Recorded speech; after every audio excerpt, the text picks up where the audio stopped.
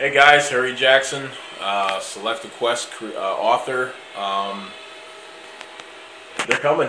Uh, the trading cards are on their way.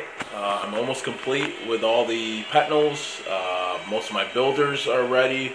Um, a few characters left, and that's one of the reasons why I've opened the door to let you have an opportunity to be part of the trading card game.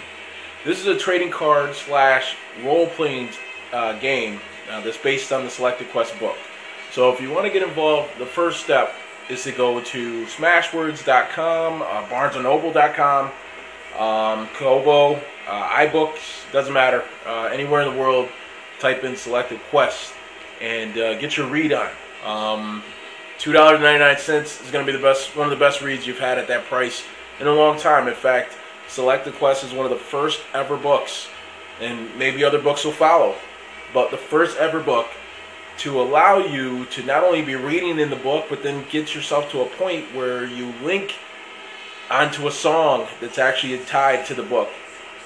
And more things are coming. Uh, book two was even better. But please, take advantage of Selective Quest. Get a good read. It's for ages 10 and up. Uh, we go after seniors, college grads. Um, it's for everybody. Uh, I hope you can jump on board. Selective Quest on Smashwords.com, BarnesandNoble.com.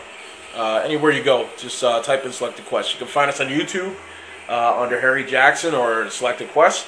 Uh, I'm on Facebook under Selective Quest Books. Uh, you can you'll get it.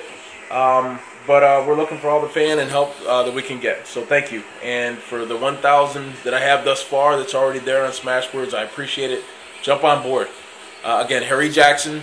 This is update number two. Update number three is going to get into the opportunity that you've been looking for on being part of the trading card game.